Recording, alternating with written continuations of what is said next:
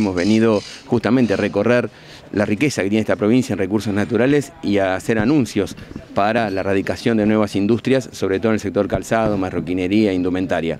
Ahí estamos este, recorriéndolas, viendo que se ha creado un puesto de trabajo, 400 nuevos puestos de trabajo año a año en la industria. Esto marca que hay un gobierno que atiende a las pequeñas y medianas empresas y como nosotros sostenemos desde la CGE, de la Confederación General Económica, que nos enseñó Helvar, que salió de esta provincia, es donde se generen recursos naturales, debe radicarse a industria que le agregue valor.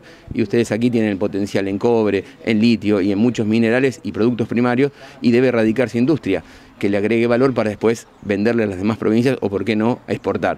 Y para esto es necesario que los industriales entendamos que aquí las riquezas que tiene Catamarca debe radicar inversiones justamente para ser más competitivos.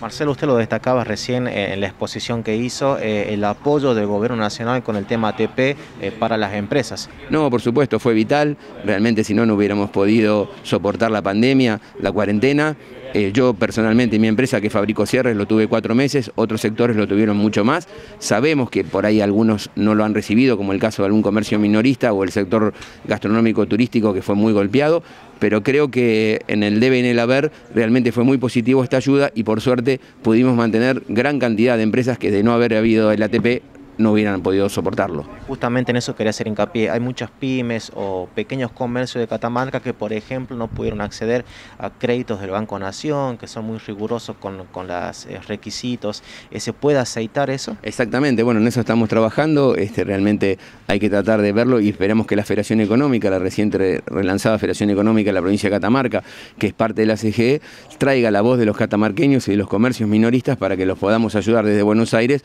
y poder otorgarle la mayores facilidades o todo lo que se pueda lograr para que puedan tener sus puertas abiertas.